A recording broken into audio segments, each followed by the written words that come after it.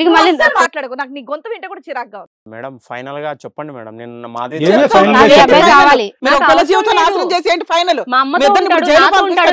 ఇంకెవరో. ముప్పై సంవత్సరాల అమ్మాయి మెసేజ్ చేస్తే మళ్ళీ దాంతో ఉంటాడు. ఇట్లాంటి నాకు అవసరం. అదే నేను అంటున్నాను ద థింగ్ ఈజ్ వీళ్ళిద్దరు తప్పు చేశారు. కానీ నువ్వు కూడా అనాలోచితంగా ఉన్నావు అనే దానికి ఇది ఎగ్జాంపుల్ ఒక ఒక అనామికుడు వచ్చి మీ ఇంట్లో రెంట్ ఉన్నప్పుడు వాడికి ఏదో సహాయ సహకారాలు చేయటం ఒక ఎత్తు. వాడితో ఈ శారీరక పరమైనటువంటి సంబంధాలు పెట్టేసుకుని రెట్రోస్పెక్టివ్గా రెట్రోస్పెక్టివ్గా వచ్చేసి నేను ఇప్పుడు ప్రెగ్నెంట్ అయిపోయాను వీడు ఎక్కడున్నాడో ఏం చేస్తున్నాడో అనేటటువంటి థింకింగ్ ప్రాసెస్లో ఆడపిల్లలు ఆ మారాలమ్మా అమ్మాయి వర్షంలో ఏముంది? ఇంటికి వెళ్ళి సంబంధం కూడా మాట్లాడుకుంది ఇప్పుడు ఇంటికి వెళ్ళి సంబంధం. మాట్లాడి చేసుకుంటాను అంటే ఇప్పుడు అబ్బాయి ప్రతిదీ ఇంకా. నమ్మకంగా ఉన్నాడని అబ్బాయి వెళ్ళిన తర్వాత ఇంత మారి త్రీ మంత్స్లో ఈ ట్రైన్లో పరిచయాలు ఒకటి ఇక్కడ ఇక్కడ ఒకటి ఒక్క నిమిషం. నేను నేనేమంటున్నానంటే సి ఇక్కడ ఈ ముగ్గురులో కూర్చోపెడితే కనుక నిన్ను నీకు అన్ని వందకి వంద మార్కులు పడిపోతాయి. అది డౌట్ లేదు. కానీ ఈ సంఘటన ఈ విధంగా కాకుండా ఇంకో విధంగా చూసుకుంటే కనుక ఇక్కడ మీ అమ్మ కాదు ఇంకో ఎక్స్ అనేటటువంటి ఆవిడని కూర్చోపెడితే కనుక నీ నీ బాయ్ ఫ్రెండ్ యొక్క క్యారెక్టర్ పూర్తి స్థాయిలో నీకు అర్థం కాకుండా వాడితో రిలేషన్షిప్ పెట్టుకుని పెద్దలు అంగీకారం లేకుండా పెళ్ళి వరకు వెయిట్ చేయకుండా నువ్వు ఎందుకు శారీరకంగా కలిసి ప్రెగ్నెంట్ అయ్యావు అనేటటువంటి క్వశ్చన్ వస్తుంది రాదా వస్తుంది. ఈ రోజు ఏంటంటే we are doing what is called as relative psychology relative psychology ఏంటంటే ఈ ఇద్దరు దరిద్రుల ముందు నువ్వు బెటర్గా అనిపిస్తున్నావు. సో నేను ఏంటంటే ఇది రాంగ్ ఎగ్జాంపుల్ మనం సమాజానికి కన్వే చేయకూడదు. ఏదన్నా ఒక ఆడపిల్ల ప్రేమించండి. తప్పులేదు ప్రేమకు నేను వ్యతిరేకం కాదు. ప్రేమించండి. కానీ ఎప్పుడైతే కనుక శారీరకపరమైనటువంటి దగ్గర అవుతారో అక్కడ ఖబర్దార్ జాగ్రత్త ఎందుకంటే కనుక నీ వయసు కేవలం ఇప్పుడిప్పుడే twenty three twenty four years వయసు ఒక మనిషిని పూర్తి స్థాయిలో జడ్జ్ చేసి వాడిని జీవిత భాగ్యస్వామి కింద కంటిన్యూ చేయడానికి ఉండేటటువంటి తెలివితేటలు మానసిక అంగీకారం నీకు లేదు. సో ఇక్కడ ఏంటంటే మీ అమ్మ పెంపకంలో ఒక లోపం ఉంది. ఏంటి ఆవిడ లోపం అనేటటువంటిది ఈ రోజు బహిర్గతంగా మనకు తెలిసింది. ఆవిడ క్యారెక్టర్ కరెక్ట్ కాదు. ఆవిడ క్యారెక్టర్ కరెక్ట్ కాదు కాబట్టి మీ నాన్న వెళ్ళిపోయాడు.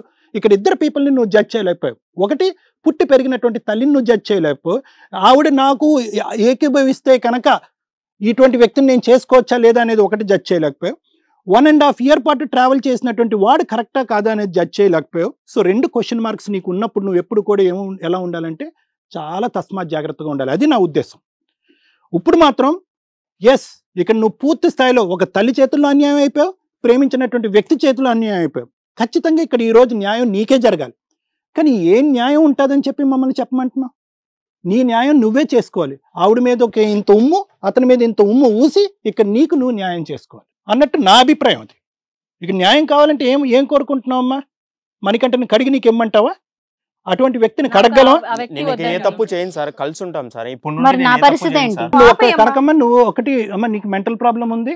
దానికి అర్జెంట్గా మనం ట్రీట్మెంట్ ఇవ్వాలి. లేదంటే చాలా కొంపలు కూలిపోతాయి. దాని సంగతి మనం తర్వాత మాట్లాడదాం. ఫస్ట్ ఆఫ్ ఆల్ ఈ రోజు నీకు ఎక్కడ కూడా కనికరం నా బిడ్డకు నేను సుఖ పెడుతున్నాననే మాట వాడకమ్మా. ఎందుకంటే కనుక నువ్వు బిడ్డలకు అంటానికే అర్హత లేదు నీకు. ఏదో భయంకరమైనట్టు నీలాంటి క్యారెక్టర్ చూసే నీ మొగుడు పారిపోయాడు. సార్ మాధవితో నేను కలిసి ఉంటా సార్. సారీ చెప్తున్నా సార్. నేను పర్సనల్ కలిసి ఉంటాను అంటే అమ్మాయి ఏం చేస్తుందో ఏంటి అనేది మేము ఒకసారి ఫైనలైజ్ చేసి మాట్లాడతాం.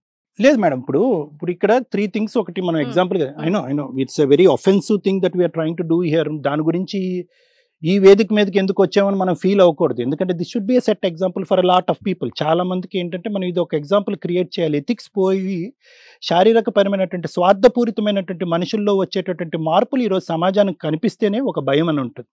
నెంబర్ వన్ నెంబర్ టూ ఏంటంటే ఇలాంటి అక్రమ సంబంధాలు ఎంత దూరం కొనసాగినా కూడా నేను సేఫ్ అనుకునేటటువంటి విధంగా కొంతమంది అనుకున్నా నా కూతురుకో నా కొడుకో నేను ఏదో న్యాయం చేస్తున్నానని కాకమ్మ కబుర్లు చెప్పినా కూడా సమాజం ఎదురుగుంటా తలదించుకునేటటువంటి పరిస్థితి అవమానకరమైనటువంటి పరిస్థితి ఖచ్చితంగా మీకు శిక్ష పడుతుంది అనేటువంటి తెలియటం గురించి ఈ వేదిక ఉంది. ఇది దిస్ ఇస్ వెరీ ఇంపార్టెంట్ ఇక్కడ కనకమ్మ సైకాలజీ చూస్తే మేడం డిఫెన్సివ్ సైకాలజీ అని అంటూ ఉంటాం. డిఫెన్సివ్ సైకాలజీ అంటే ఏంటంటే ఈ రోజు ఆవిడ ఏదో కూతురు గురించి నా బిడ్డ గురించి వాళ్ళ న్యాయం గురించి మేము ముగ్గురం కలిసి ఉంటే నేను సంపాదించేటటువంటి ఆస్తి బయటకు పోకుండా నా అల్లుడి దగ్గరే ఉంటుంది. ఇవన్నీ ఏమీ కాదు. సి బేసికలీ ఈవిడకున్న సైకలాజికల్ మేకప్లో ఏంటంటే ఆవిడ ఏదో మిస్ అయింది తన లైఫ్లో ఎందుకు మిస్ అయింది? ఎలా మిస్ అయింది? అనేటటువంటి పూర్వపరాల్లోకి వెళ్ళటం ఇంత టైం మనకి లేదు. అది వెళ్ళటం కూడా అనవసరం. ఎందుకంటే హైలైట్ ఏంటంటే కనుక ఈవిడ క్యారెక్టర్ ఈరోజు ఎంత భయంకరం. సో ఇందులో ఉండి ఉండి ఏంటంటే ఈవిడ ఏదో విధంగా ఆరు నూరైనా నూరారైనా.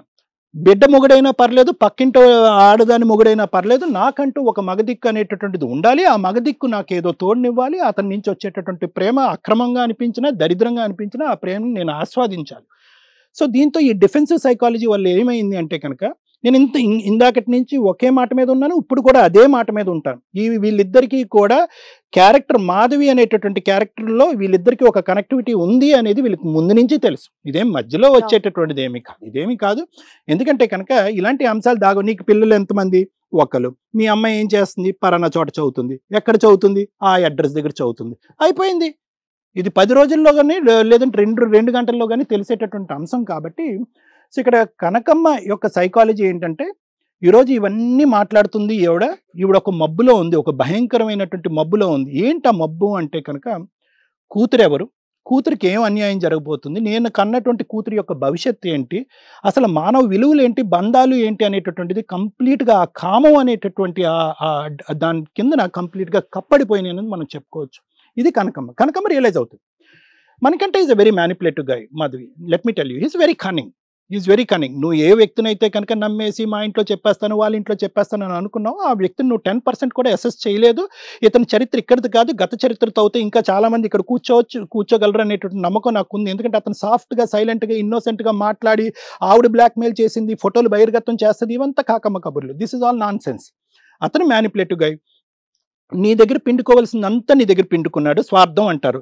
దాన్ని స్వార్థం సెల్ఫిష్నెస్ అంటారు. అన్ని డబ్బులు తీసుకున్నాడు ఉద్యోగం సంపాదించాడు నువ్వు బ్రేక్ఫాస్ట్లు డిన్నర్లు ఇచ్చావు శారీరకంగా నిన్ను వాడుకున్నాడు అదే లావాదేవి ఇక్కడ కూడా నడిపించాడు ఇక్కడ నుంచి కూడా ఇప్పుడు. సో ఫైనల్గా ఏమవుతుందంటే కనుక మీరిద్దరు బ్యాక్ ఆఫ్ అయిపోతారు. Eventually that is end result of all the stories ఆడది అన్యాయం అయిపోతుంది నడు రోడ్డు మీద పడుతుంది అన్యాయం అయిపోతుంది అయిపోతుంది. ఫైనల్గా అతనే ఉంటాడు ఇంకొక ఇంకొక శాలిటీని ఎత్తుక్కుంటాడు. ఆ శాలిటీ కూడా ఇదే టైప్ ఉంటుంది. మీరు సహాయాలు చేస్తారు అన్ని దిక్కుమొక్కు నువ్వే అంటాడు వాడికి రెండు కొమ్ములు వస్తాయి ఇంకో దాంతో ఆన్లైన్లో ఉంటాడు. సో ఇది వాడి సైకాలజీ ఇప్పుడు నీ వరకు వస్తేనమ్మా నేను నిజంగా నేను చాలా బాధపడుతున్నా. See I feel very sorry for your condition కానీ ఈ కండిషన్కి ఏంటంటే బాధపడి జాలు చూపెట్టి సానుభూతి చూపెట్టి అయ్యో నాన్న నీకెంత అన్యాయం అయిపోయింది. ఎందుకంటే ఒక ఒక ఆడది తను ప్రేమించినటువంటి వ్యక్తి మొగుడైనా ఎవరైనా కూడా పక్కన వేరే పరాయి స్త్రీని చూస్తే కనుక కింద నుంచి పై వరకు కాలిపోతుంది తను. అలాంటిది సొంత తల్లిని ఆ స్థానంలో చూడటం అనేటటువంటిది నీ మానసిక నీ చిన్న వయసుకి ఎంత గాయం తగిలింది నా తల్లి యొక్క క్యారెక్టర్ ఈరోజు ఆడిపోతే పోయాడు ఆడు ఏ గొంతలో దుంకుతాడు అది తల్లి తండ్రి లేనటువంటి టైంలో కూడా పుట్టి పెంచి ప్రేమగా పెంచి లాలించి పాలించినటువంటి ఒక తల్లి యొక్క క్యారెక్టర్ ఈ రోజు నీకు ఒక సస్పెన్స్ థ్రిల్లర్లో బ్రేకింగ్ న్యూస్ లాగా వినిపించడం అనేటటువంటిది నిన్ను మానసికంగా ఎంత గాయపరిచింది అనేది ఒక మానసిక వైద్య నిపుణుడిగా నాకు అర్థమవుతుంది. సో ఈ రోజు ఏదైనా హెల్ప్ కావాలన్నా సపోర్ట్ కావాలన్నా లీగల్గా ఒక సపోర్ట్ కావాలన్నా ఏది కావాలన్నా కూడా ఎవ్రీథింగ్ గోస్ టు యూ. వీళ్ళిద్దరిని పనిష్ చేసేటటువంటి విధాన మార్గాలు మేడం చెప్తారు. But this is a lesson for life. నీ జీవితానికి కావలసినటువంటి ఒక గుణపాఠం ప్రేమ అనేటటువంటిది ఒక హార్మోన్ పరమైనటువంటి ఒక ఇమోషనల్ అంశం. ప్రేమించడం చాలా ఈజీ. వాళ్ళని మనల్ని ప్రేమిస్తారు మనల్ని వాళ్ళు ప్రేమిస్తారు. కానీ ఆ ప్రేమలో ఉండవలసినటువంటి ఒక ముఖ్యమైనటువంటి ఎలిమెంట్ ఏంటో తెలుసా? స్వీయ నియంత్రణ self control not over confidence. ఏ నేను ప్రేమించేసాను ఆ లవ్ సింబల్ పంపించాడు నేను లిప్ సింబల్ పంపించాను అయిపోయింది మన ఇద్దరం కనెక్ట్ అయిపోయినా. దట్ ఈస్ నాట్ లవ్ లవ్లో ముఖ్యంగా కావాల్సింది ఏంటంటే థింకింగ్ సెల్ఫ్ కంట్రోల్ కావాలి. సో నీ గోటి ఆడపిల్లలకి నేను చెప్పేది ఏంటంటే నువ్వు అన్యాయం అయ్యో కాదనట్లేదు. But it is a lesson for you and lot of people who follow in your footsteps నీ అడుగుజాలలో నడిచేటటువంటి చాలామంది ఆడపిల్లలకి ఈ రోజు ఈ కార్యక్రమం ఒక గుణపాఠం. నేను అన్యాయం చేశానండి నా బిడ్డకి. నేను ఏం అన్యాయం చేయలేదమ్మా. ఇప్పుడు నువ్వు చేసిన అన్యాయం అనేది చాలా చిన్న మాట ఎలా చేసింది సార్ మా అమ్మ. లేదమ్మా మాట్లాడదు నేను నువ్వు మాట్లాడకు. సైలెంట్. మాట్లాడకండి.